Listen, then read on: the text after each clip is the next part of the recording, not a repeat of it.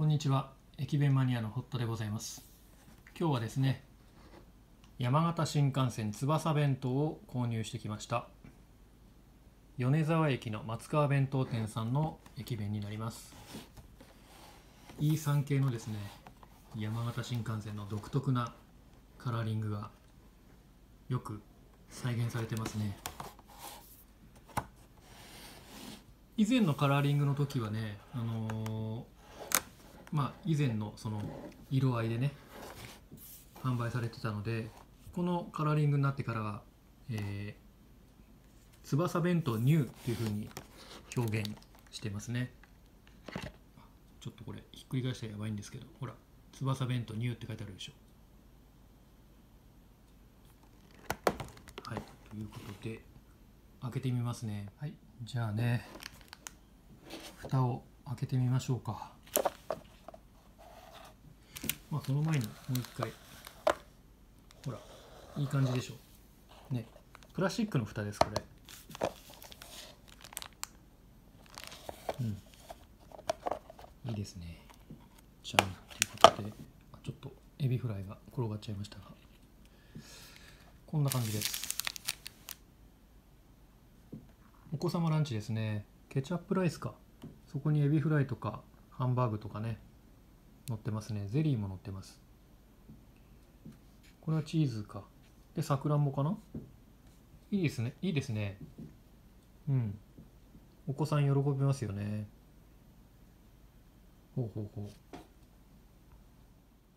それではね食べてみたいと思います、えー、こういこういうふうにねスプーンが入ってるのもいいですね。で当然割り箸も入ってて私は割り箸で食べます。エビフライから。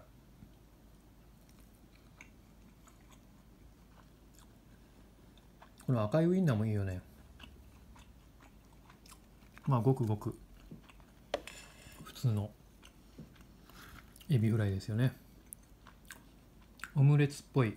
ケチャップライスですね。うん。美味しい。お子様喜ぶよ。これは鶏肉かな？うん。鶏肉に。ケチャップ煮だねこれね。バターの代わりも効いてるね。うん美味しい。そしてハンバーグ。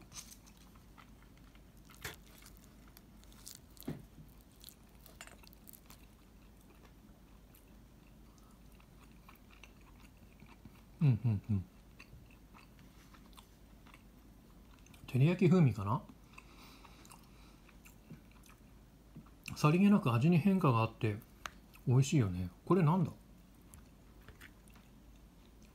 この松ぼっくりみたいな。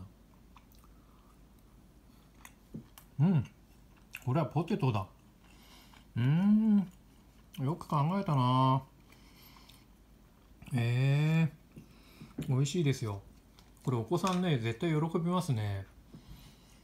まあいい大人がね新幹線に乗ってこれ食べてるとちょっと恥ずかしいですけどまあ家にお土産に持ち帰ってねお子さんを喜ばせてあげてまあ食べ終わったこのお弁当箱も再利用してっていうそういうまあ購入の仕方がいいですね。